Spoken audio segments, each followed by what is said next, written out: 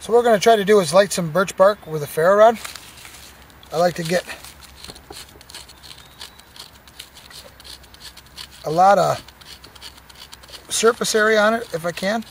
Just the tip of my knife.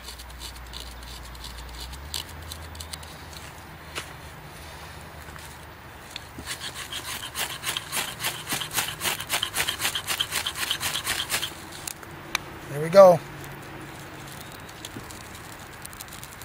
Birch bark with a ferro rod. Safe journeys.